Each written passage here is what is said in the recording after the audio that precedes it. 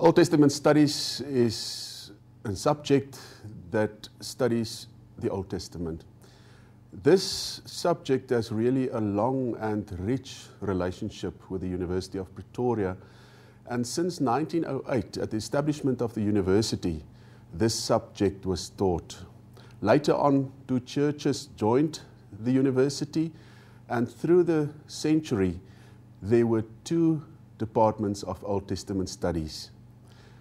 This, these departments merged in 2000, and since 2000, there is one department studying this subject with the vision to enhance the understanding of knowledge of the Old Testament and to create a creative environment for people to do, do so. We really, really strive for uh, creative environment for our undergraduate and postgraduate students.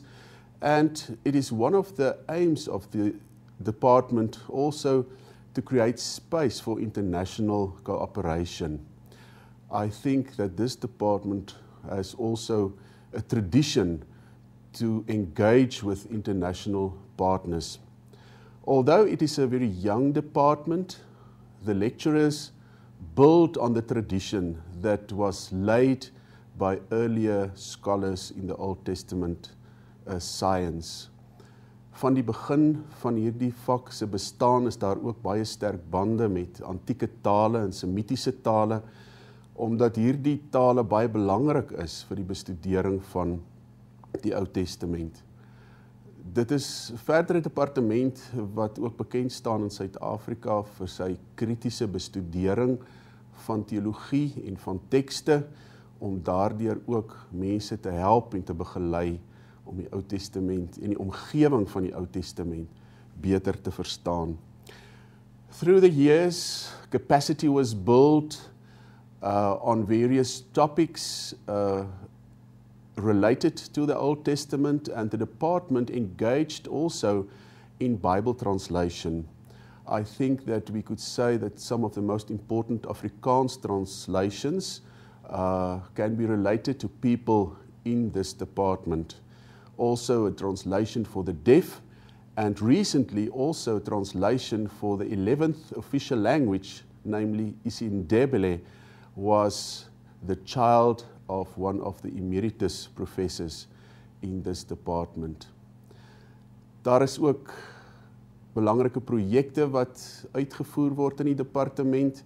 Uh enkele daarvan is die beklemtoning van die psalms, die Pentateug en die profete en daarom is daar 'n jaarlikse internasionale kongres of kongresse wat gereël word deur die departement, die Pro Psalms, die Propent en ook die Pro Prof uh geleenthede waar internasionale uh, geleerdes uitgenooi word en wat hier kom voordra.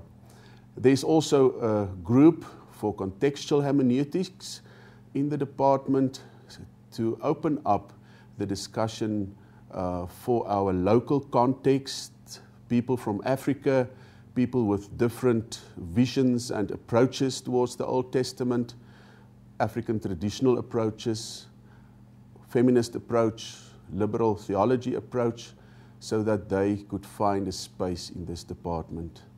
Die departement wil graag 'n ruimte skep vir voor- en nagraadse studente om op 'n kreatiewe manier die Ou Testament te leer ken. And on a research level we want to engage nationally and internationally in order to build this science that contribute to theology at large.